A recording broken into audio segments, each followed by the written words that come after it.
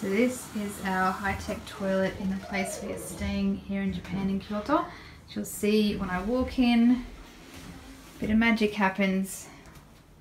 Wave my hand and it opens. Then if you need to open the second layer, you can see over here on the wall there's a control panel with all the buttons that you need. And if you push this one here, that one opens up. And close it by pressing that button again. Now it does actually flush automatically when you hop up off the toilet, but I'm not going to demonstrate that. The other thing that I can't demonstrate either, because it has a sensor on it and it won't work unless you're actually on it, is the features on here, the washing features. So this button here is to stop, means stop. This one is washing your bottom.